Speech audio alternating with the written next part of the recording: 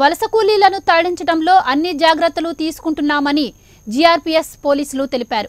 మార్గం మధ్యలో కూలీలు ఎవరూ దిగకుండా పోలీసు బలగాలను కూడా శ్రామిక్ రైళ్ళలో ఏర్పాటు చేశామన్నారు. అయితే కడప జిల్లా నుంచి మాత్రం ఎలాంటి శ్రామిక్ రైళ్ళను నడపడం లేదని ఇక్కడి కూలీలను బస్సుల్లో రేణిగుంట గుంతకల్ జంక్షన్లకు తరలించి ప్రత్యేక రైళ్ళలో గమ్యస్థానాలకు చేర్చేలా చర్యలు తీసుకుంటామంటున్నారు ఇతర రాష్ట్రాల వలస కూలీల తరలింపు ప్రక్రియకు సంబంధించి మరింత సమాచారం మా కడప ప్రతినిధి కిషోర్ అందిస్తారు.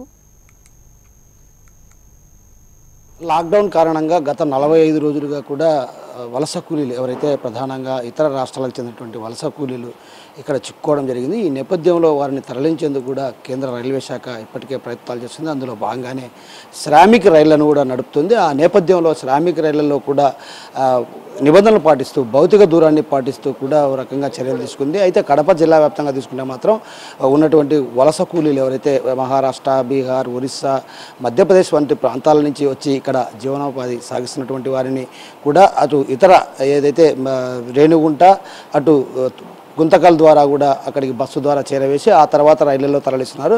ప్రస్తుతం మనం కడప రైల్వే స్టేషన్ వద్దున్నాం ఇక్కడ ప్రధానంగా గమనించవచ్చు. రైల్వే స్టేషన్లో అంతా కూడా నిర్మానుష్యమైన వాతావరణం కనిపిస్తుంది. రైళ్ళ రాకపోకలు కూడా పూర్తిగా నిషేధించారు. అయితే కేవలం శ్రామిక రైళ్ళను మాత్రమే నడుపుతున్నారు. శ్రామిక రైలు ఎవరైతే వలస కూలీలు ఉన్నారో వారిని మాత్రమే తరలించే ప్రక్రియ ప్రారంభించారు. ఆ తరలించే ప్రక్రియలో భాగంగానే తొలుత వారికి వైద్య పరీక్షలు నిర్వహిస్తారు. అనంతరం కూడా వారికి వైద్య పరీక్షల్లో నెగిటివ్ వచ్చిన తర్వాత కూడా వారిని శ్రామిక రైళ్ళలో తరలించడం అయితే ఆ శ్రామిక రైళ్ళలో తరలించడం నేపథ్యంలో కూడా అటు అధికార యంత్రాంగం కూడా అన్ని ఏర్పాట్లు చేసింది.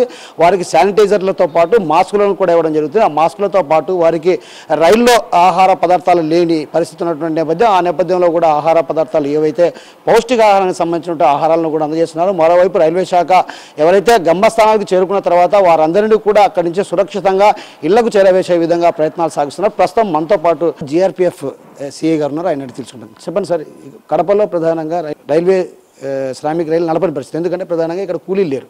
కాబట్టి ఇక్కడి నుంచి రేణుగుంట గుంతకల్ ప్రాంతాల నుంచే ఎక్కువగా రైళ్ళు నడుపుతున్నారు. సో మన కడప జిల్లాలో ఒకవేళ అలాంటి వలస కూలీలు ఎవరైనా ఉంటే ఏంటి పరిస్థితి సార్? అందరికీ నమస్కారములు. ఇప్పుడు కడప జిల్లాలో శ్రామిక రైళ్ళు ఎటువంటి ఎటువంటివి కూడా కడప నుంచి రైల్వే స్టేషన్ నుంచి నడపడం లేదు. ఒకవేళ కడ- వేరే రాష్ట్రాలకు చెందిన వలస కూలీలు ఒకవేళ ఉంటే కనుక వాళ్ళు సమీప MRO office RDO office collector office police స్టేషన్లలో పోయి వాళ్ళ పేర్లు నమోదు చేసుకుంటే వాళ్ళ పేర్లను నమోదు చేసుకున్న తర్వాత వాళ్ళు పై అధికారులకు ఇంతమంది ఉన్నారు నీరు మంచినీరు వారు రైళ్ళలోంచి దిగకుండా వాళ్ళకే రైళ్ళలోనే వాళ్ళకి కావాల్సిన వస్తువులన్నీ అరేంజ్ చేస్తుంది.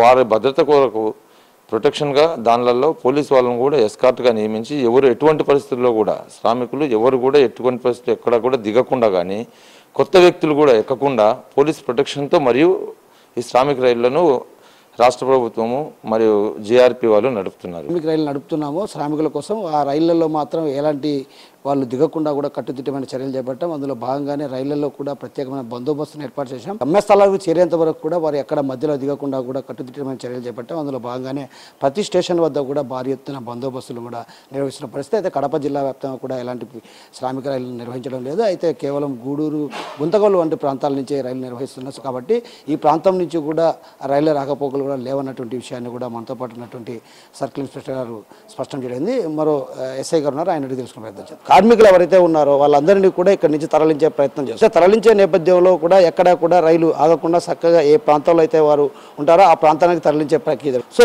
ఎలా ఏర్పాట్లు ఉన్నాయి సార్. ఇక్కడ మామూలుగా వచ్చిన రైళ్ళను మాత్రమే నిలబెట్టకుండా ఇస్తాము తర్వాత ఎవరైనా దిగేదానికి ప్రయత్నం చేస్తే దిగనీము. వాళ్ళకు ఏదైనా కానీ ఆహార వస్తువులు కానీ తర్వాత వాటర్ కానీ తర్వాత శానిటైజర్ కానీ ఇచ్చేసి మాస్కులు కానీ ఇచ్చి ఏర్పాటు చేసి వాళ్ళ జాగ్రత్తలు పాటించకుండా లోపలనే ఇచ్చే ఏర్పాటు చేస్తున్నాము. కానీ మామూలుగా కడప మీదుగా రైలు ఇంతవరకు రాలేదు. వచ్చిన తర్వాత మేము చేసే ఏర్పాటు మేము చేస్తాం. మామూలుగా భౌతిక దూరం పాటిస్తాము. తర్వాత వాళ్ళని అక్కడి నుంచి ఇక్కడ క్యూ లైన్లోనే ఒక భౌతిక దూరం పాటించినట్టు ఒకరికి ఒకరికి పెట్టేసి వాళ్ళ వాళ్ళకు వెహికల్స్ ఏర్పాటు చేసేటట్టు ఏర్పాటు చేస్తాము. ఆ సన్నిహిత వాళ్ళ ఊర్లకు పోయేదానికి ఏర్పాటు చేసే ప్రికాషన్స్ తీసుకుంటాము అన్ని జాగ్రత్తలు తీసుకుంటాము. కేంద్ర ప్రభుత్వం వైపు చర్యలు తీసుకుని రాష్ట్ర ప్రభుత్వం మాత్రం ప్రత్యేకించి ఎవరైతే వలస కూలీలు ఉన్నారో వారికి అంతా కూడా నిర్వహిస్తుంది. ఎందుకంటే రాష్ట్ర ప్రభుత్వం ఆధ్వర్యంలోనే కొనసాగుతున్నాయి. ఎందుకంటే భౌతిక దూరాన్ని పాటించడంతో పాటు అటు వారందరూ ఎవరైతే వలస కూలీలు ఉన్నారో వారందరినీ భౌతిక దూరం ద్వారానే రైళ్ళలోకి ఎక్కించడం తర్వాత ఆ తర్వాత రైళ్ళలో కూడా తీసుకోవడం జరుగుతుంది. అయితే ఈ విషయం పైన అటు రైల్వే శాఖ అధికారులు కూడా స్పందించిన పరిస్థితి ఎందుకంటే అటు ఉన్నతాధికారుల ఆదేశాల మేరకే తాము మీడియాతో మాట్లాడాల్సి ఉన్నటువంటి పరిస్థితి. ఆ నేపథ్యంలో తాము మాట్లాడిన పరిస్థితి ఉన్నటువంటి విషయాన్ని కూడా ఓవైపు జి- ఈ జిల్లాలో ఉన్నటువంటి రైల్వే శాఖ అధికారులు చెప్తున్నారు. అయితే మొత్తం మీద చూసుకుంటే మాత్రం కడప జిల్లాలో మాత్రం ఇప్పటి వరకు వలస కూలీలను తరలించే ప్రక్రియ మాత్రం ప్రారంభం కాలేదని చెప్పవచ్చు ఎందుకంటే ఇక్కడ ఉన్నటువంటి కొద్ది మంది వలస కూలీలు మాత్రం అటు గుంతకల్లు తిరుపతి రేణిగుంట ప్రాంతాల నుంచి తరలించి అక్కడి నుంచి నేరుగా శ్రామిక రైళ్ళను నిర్వహిస్తున్న పరిస్థితి. అయితే ఆ నేపథ్యంలో శ్రామిక రైళ్ళలో కూడా ప్రత్యేక ఏర్పాట్లు చేశారు. శ్రామిక రైళ్ళలో కూడా అటు ఎవరైతే వలస కూలీలు ఉన్నారో వారందరూ కూడా నిరంతర ప్రక్రియ ఆహార పదార్థాలతో పాటు పౌష్టికాహారం నిరంతరం కూడా నీరు సరఫరా ఉండే విధంగా చర్యవేస్తారు మరోవైపు గమ్యస్థానాల్లో మధ్యలో ఎక్కడా వారు దిగకుండా కూడా కట్టుదినమైన చర్యలు చేపట్టారు. జీఆర్పీఎఫ్ పోలీసులు శ్రమిస్తున్నారు. కెమెరా పర్సన్ శివప్రసాద్తో కిషోర్ ప్రైమ్